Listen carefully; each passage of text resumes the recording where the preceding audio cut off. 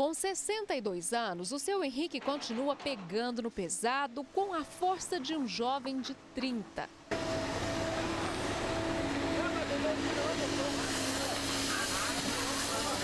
Ficar todo dia em casa, na folga, não faz parte dos planos dele. Ah, eu gosto de trabalhar, eu sempre fui trabalhador, né? E enquanto eu aguentar, eu preferi trabalhar. Já são 15 anos na mesma empresa. Começa a obra, termina a obra e ele tá lá.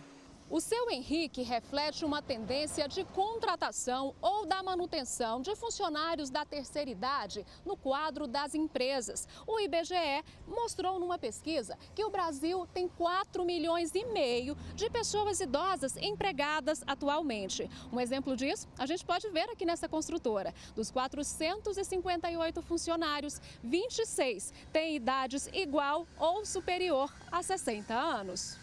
É o caso do João Ribeiro, engenheiro eletricista de 64 anos, 25 anos na mesma construtora. Pensar em se aposentar, ele até já pensou. Isso foi há quase 10 anos. Minha meta era 55 anos.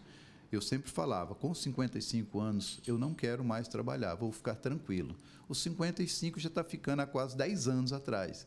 E eu já faço agora para os 70. E talvez faria uma para os 80. Sheila é coordenadora de RH e sempre contrata pessoas acima dos 60 anos. Um sinal de que o preconceito com essa faixa etária tem sido substituído pela valorização da experiência. Um profissional nessa idade ele ainda está muito ativo, então ele precisa que o mercado dê essa oportunidade, que os mantenham. São profissionais que buscam, que têm interesse, é, que têm a vontade de trabalhar. O seu Henrique destaca como qualidade a vontade de trabalhar. Diz que é difícil achar quem pegue no pesado tão bem quanto os mais velhos. Daqui a três anos, ele quer deixar a construção civil. Mas parar de trabalhar, nem pensar. Eu já faço uma feirinha, sábado e domingo, aí eu vou continuar fazendo feira, fazer mais, caçar mais uns pontos para mim, né? E tem colega dele de obra que vai continuar do batente sem data definida para parar. Firme e forte, moleza nessa turma de sessentões passou longe. E não é só porque a maioria de quem se aposenta ganha menos, é vontade de ser útil. Enquanto eu estiver aguentando trabalhar, eu estou trabalhando. Trabalhar para o senhor faz bem? Faz, beleza, ixi.